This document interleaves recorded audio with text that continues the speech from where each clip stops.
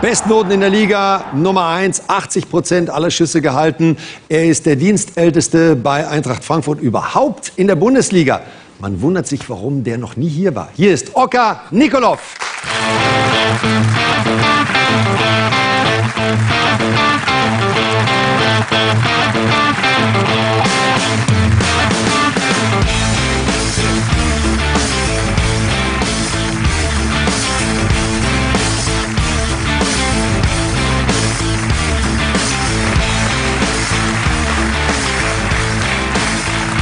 Ist einer seit 1994 aktiv, hat alle Höhen und Tiefen mitgemacht, kommt gleich aus der Nachbarschaft und war noch nie hier. Sie wollten noch. Also ich wäre gern schon öfters hier gewesen, aber wurde leider noch nie eingeladen. Zum Glück hat es jetzt mal geklappt. Ja, wird aber auch höchste Zeit, muss ich sagen. Ne? Heute ähm, täuscht der Eindruck nach dem Bericht, dass die Mannschaft ein bisschen gebraucht hat, um ins Spiel zu kommen, aber... Ja, auf jeden Fall. Ja. Also man hat die zwei Spiele vorher gemerkt, äh, die englische Woche und ähm, wir haben lange gebraucht, um ein Spiel zu finden. Sie sagen, man hat es gemerkt. Merkt das auch ein Torhüter?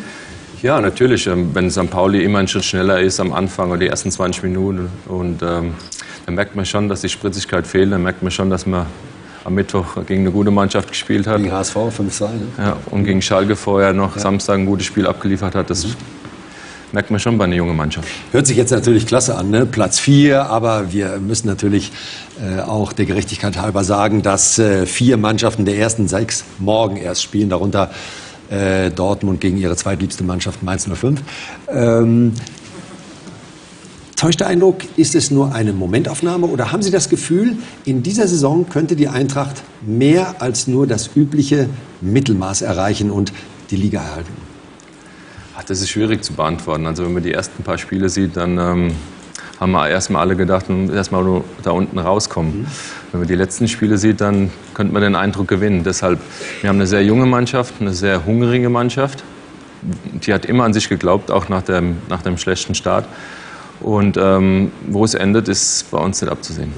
50 Punkte habe ich mal gehört, wurde mal so äh, avisiert, wollte man in dieser Saison erreichen. Also wenn man sich überlegt, jetzt haben wir 10. Spieltag, Mannschaft hat 16 mal 3, 3 hin einem Sinn, sind dann äh, 48. Jo, und in den letzten vier Spielen holt man die zwei noch. Also so unwahrscheinlich ist das nicht. Naja, wir haben jetzt ganz schwere Spiele vor. Also jetzt kommt erstmal Wolfsburg zu uns und wenn man die Offensivabteilung sieht, wird ein schweres Spiel und dann spielen wir in Bremen. Also lassen wir erstmal die Spiele spielen, dann sehen wir weiter. Sie haben gesagt, äh, Sie haben eine ganz junge Mannschaft, aber Sie sind schon ein Gestandener. Also das darf man ja sagen mit 36, ne? Ja. 36 Jahre. Und ähm, haben Frankfurt auch als wahrhaft Bankmetropole äh, kennengelernt, nämlich öfter auf der Bank gesessen. Äh, seit Sie 94 da spielen, ähm, zieht sich durch Ihre Karriere Sie spielen, äh, Sie bekommen gute Noten, dann kommt ein guter Torhüter äh, oder ein anderer, dann spielt der wieder, dann sitzen Sie wieder. Und wenn Sie gerufen werden, wenn Sie sich verletzt oder was auch immer, dann stehen Sie Ihren Mann. Ähm, ist das so eine Karriere mit Aufs und Abs, wie man sie sich eigentlich nicht wünscht? Ach doch, ach doch. Also ich möchte kein Jahr missen eigentlich. Das sind Erfahrungen, die man macht und auch damit umgeht, also lernt daraus. Und was, was lernt man daraus? Sagen Sie es. Ja, als, als ich, meine, ich habe jetzt ein gewisses Alter erreicht und dann, dann weiß man erstmal, was für einen Traumberuf man hat. Ja. Als junger oder jüngerer Torwart ist man sehr verbissen sehr und alles richtig machen und ja, keinen Fehler machen, ja, keine Flanke unterlaufen. Aber mit dem Alter lernt man damit umzugehen, sage ich mal. Das gehört dazu. Gelassenheit? Professioneller? Professioneller will ich jetzt nicht sagen, gelassener. Ja. Weil man lernt mit Fehlern umzugehen, okay. dass die dazugehören. Weil Auch mit der Kritik? Ich kenne keinen das ist schwierig, mit Kritik ja. umzugehen, auch ja. heute noch. Ja. Aber man geht besser mit um. Mhm. Wie machen Sie das?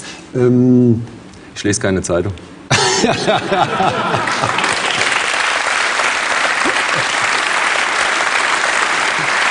Vielleicht nicht so schlecht. Vielleicht nicht so schlecht, muss ich sagen. Jetzt nennt sich Ihr Verein ja Eintracht Frankfurt, aber ähm, die Zwietracht ist immer mal wieder äh, dabei. Da kriegen sich alle möglichen Leute in die Köpfe. Also innerhalb der Mannschaft passiert schon mal, äh, aber auch natürlich Skibbe ähm, und Bruchhagen. Ähm, lässt sich das nicht irgendwann mal so ein bisschen Kontinuität da reinbringen? Man denkt sich, Mensch, du hast hier alles. Ein tolles Stadion, eine Stadt, ähm, in der das Geld, ich will nicht sagen auf der Straße liegt, aber ich habe ja gesagt, Bank Metropole, also da ist ja Geld. Äh, und aber irgendwie so richtig mal durchkommt die Mannschaft nicht. Ja, es ist auch schwierig. Also unter den Top 5 zu kommen, sage ich jetzt mal, oder den Top 8. Weil das ist schon ein Sprung zu dem, was wir jetzt gerade sind, sage ich jetzt mal. Mhm. Wir haben letztes Jahr eine sehr gute Saison gespielt, versuchen das natürlich zu verbessern. Und um ganz nach oben zu kommen, dann, dann muss man, glaube ich, wenn man die Etats von den anderen Vereinen sieht, die sind schon ein bisschen weiter weg. Ah, Mainz 05 steht oben. Ja, das stimmt. Ja, da, da, da, kann ich jetzt auch nichts dazu sagen. Aber wart mal ab, wo sie nach 17 oder 20 oder 25 Spieltagen stehen. Höre ich das Skepsis heraus? Nein, überhaupt nicht. Also Hut ab, was die im Moment ja.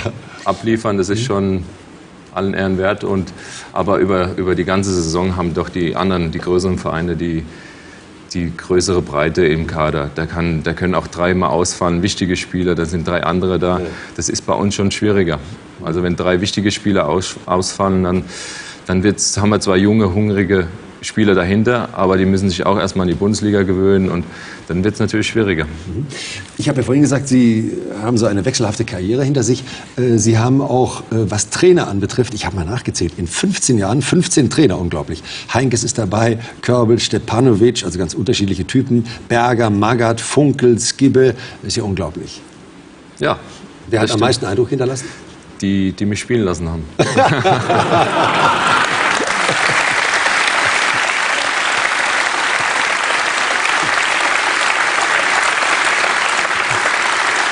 Und lassen Sie mich raten, das waren auch die fachlich Besten, oder? Absolut. Keine Fragen. Wenn man jetzt so lange bei so einem Bundesliga-Verein ist, äh, Sie haben fünfmal Nationalmannschaft gespielt mit Mazedonien, ähm, hat man da nicht mal äh, eine Laune, dass man seinem Berater sagt, hör mal, kannst du mal einen Spitzenverein finden? Ich möchte auch mal Champions League spielen, ich möchte auch mal hier um die Schale mitspielen. Das, das möchten wir ja alle, aber ähm, man, man, man kann sich auch ganz gut ein, einschätzen. Und ja. natürlich ähm, war der Gedanke schon mal da, den Verein zu wechseln, mhm. vor allem wenn man nicht spielt oder länger nicht spielt. Aber ähm, dann weiß man auch, was man an dem Verein hat oder was man an Umfeld hat oder wie auch immer. Und Eintracht Frankfurt ist ja auch nicht der allerschlechteste Verein. Mhm. Deshalb, deshalb ähm, war ich eigentlich im, fast immer zufrieden. Mhm. Vor der Saison auch, ne? da hieß es äh, eventuell New York. Red Bull, ne? New York. Das war ja. zum Ende der letzten ja. Saison, ja. ja. Mal so ein Sprung zum Schluss noch so ein bisschen. Ja, das wäre jetzt nicht sportlich reizvoll gewesen, es wäre halt eine Lebenserfahrung gewesen, aber. Auch finanziell.